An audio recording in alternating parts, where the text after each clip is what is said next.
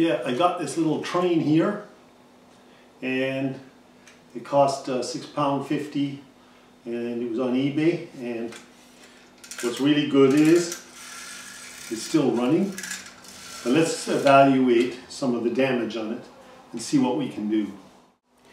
Yeah, hi there again. It's Willy D um, Restoration uh, sh Restoration Shop or Restoration Man or whatever you want to call me.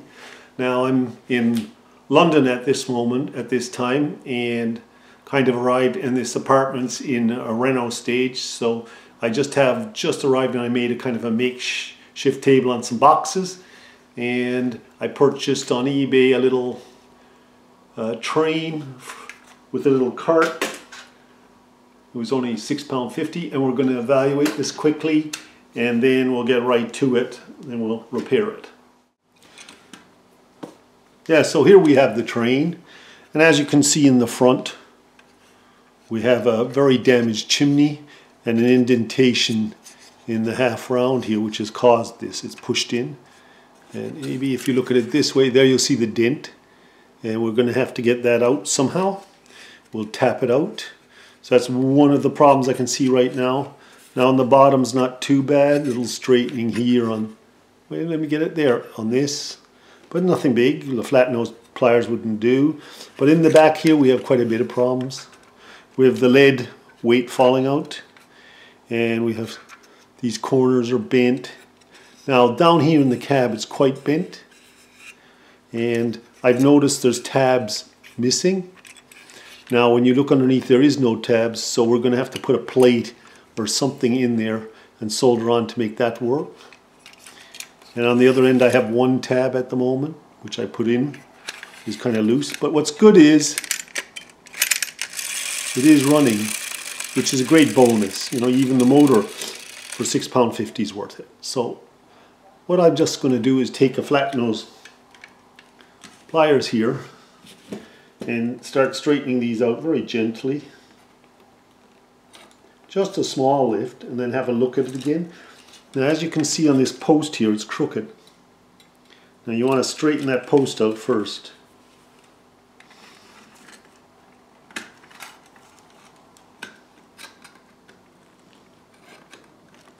Everything starts shaping up on, tin, on its kind of own. If you just allow it, it starts shaping up and coming back to life, right? As you can see, I'm just tweaking this slowly and I'll just pull this up a little bit more. Very gently. I don't want to be losing too much of the paintwork in that. I want to kind of keep this quite genuine so I'll just keep straightening a little and I'll mostly take these tabs out and take it apart and we'll see what we got. Yes so I've got it quite a bit apart. I don't have to do anything to the engine because I have it wound here and when you drop this lever down, oop, oop, get my fingers out of the way. There she goes. It's running very well. Now this, better run out. This lever needs a little straightening, but otherwise there's a little wobble here, but I would leave that. I'm just going to give it a little bit of oil, thin oil, leave her be because she's running perfectly. Why mess with something when it's running good? I'm going to take the uh, cap off the front here and see if I can maneuver this back up to being half round again.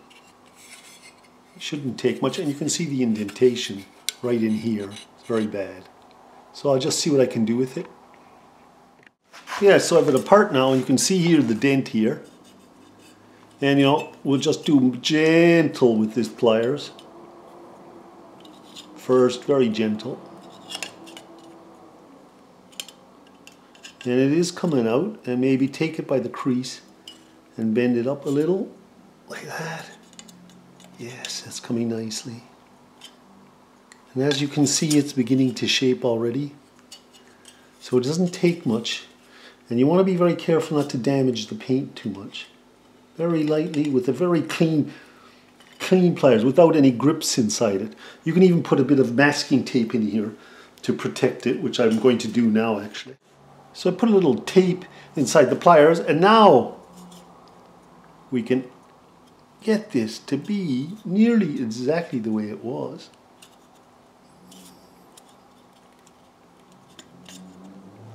Now I quite like that.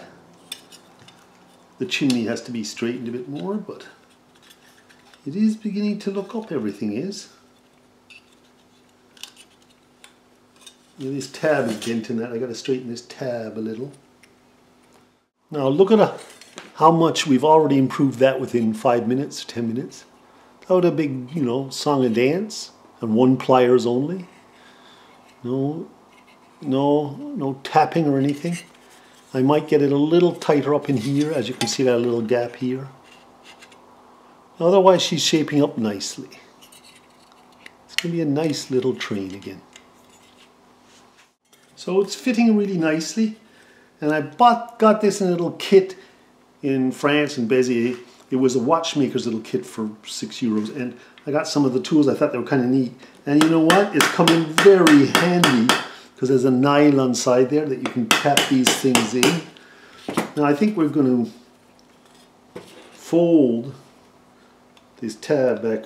Oops, sorry. I get back. I do that sometimes. Fold this tab back in. to the train nice and tight. And the same on this side. They used to make these trains lovely, you know. I'm just bending the tab a little first. So it's already taking place. And then we give it a little... Now we're getting a really nice shape here, as you can see. And I'll just tap lightly on the with the nylon this in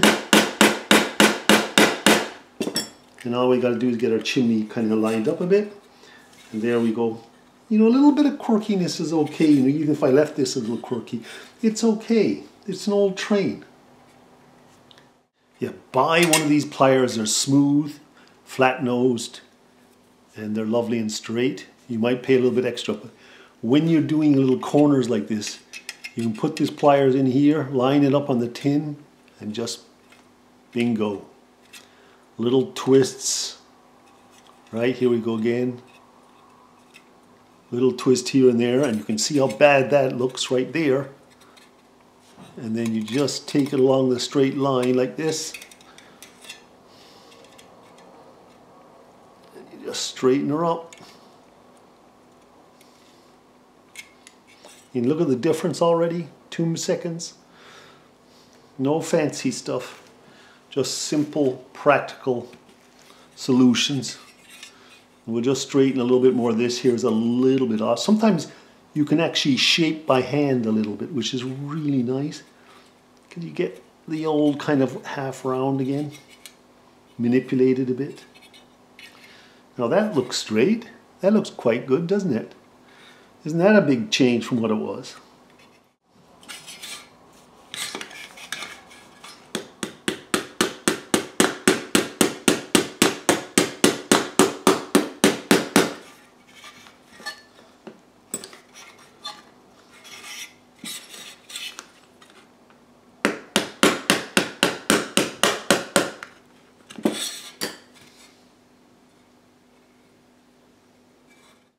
Yeah, so I've got on quite well.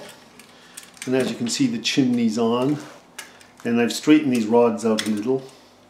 And this is much more flush. No more indentation here. As you can see, hang on, let me turn it around so you can see. There you go. That's all working. Now I've taken a little while trying to get the cab straight. And I got the motor basically in again the tabs all straight. Once you straighten everything out, it's like a factory, like when it was factory built, it all falls together. But the only thing I'm missing is now is when you insert it here, there's two tabs on this side missing here, on this one. And on this side, you can see I got the front tab, all, I got this front tab right there. But I don't have this slanted up tab. I have to put something in behind here to make a tab. So this all holds in nice and strong. And basically, the engine will be complete. So I'll just try to work out how to make some tabs, figure it out tomorrow most likely and show you what I do. So I had, remember the train and the tabs were broke. Well luckily, real luck, up on eBay popped another one very similar. It's darker in colour and it's got more damage on the cab, on the outside. But the tabs are in place for this insert. Remember they were broken? So what I'm going to do is take all the good parts and put it onto this to make this original.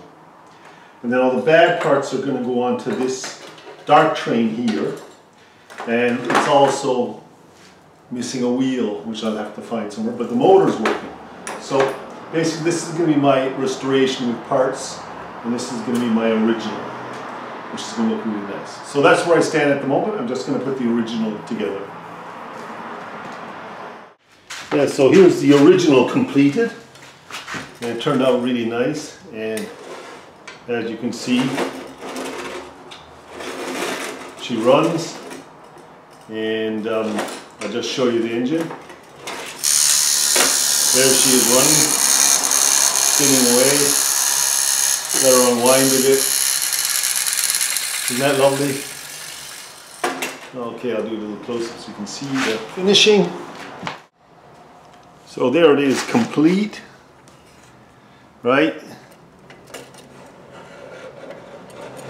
Right, all straightened up. Remember we were straightening the cab in the very beginning? And like totally original. Right, so there's one of them done. One of the engines. Very nice, very pleased with it. Might clean the little um, key a little bit more, get a little bit more rust off, but basically we're done. You don't want to make it too new looking. It's got to look old still and original.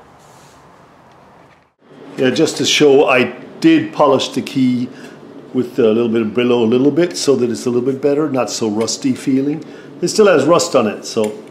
And I've washed the wheels inside the hubs a bit to clean them up and just gave the, the whole thing a wash quickly.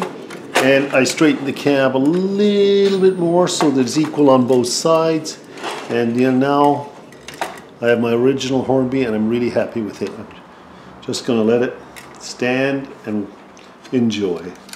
And we're going to carry on with the other one that's broken up now and see, let's get this one out of the way. We're going to see what we can do with this broken up one now and the parts and see if we can make something out of it. The first thing I do is just straighten this and put it in and then you know, into this area here again and we'll see where we'll go from there.